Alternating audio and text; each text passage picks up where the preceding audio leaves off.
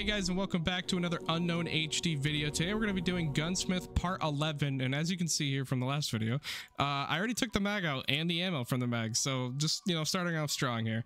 But we're going to do edit preset and in the preset we're going to go from right to left here because if we have to make any barrel changes and stuff like that it does affect a lot of things. And i can see right off the bat we're actually going to have to change this five inch to a six inch just so we can uh, do that right away and have that taken care of. So following that we're actually going to keep on the defiance rs here that's already on it and we're actually going to switch to the vector nfa so we can put on the uh where is it? The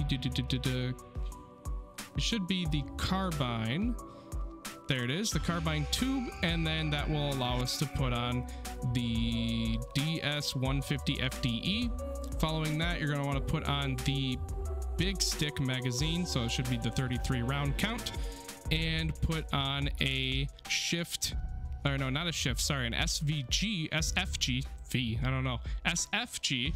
Uh, and then following that, there's going to be the muzzle. And on the muzzle we're actually going to put on the osprey if i can find the muzzle here.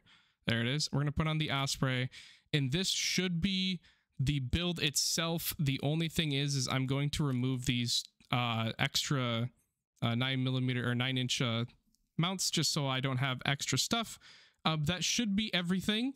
And so i'm going to save as gunsmith part 11 and assemble. This will be the final build assemble.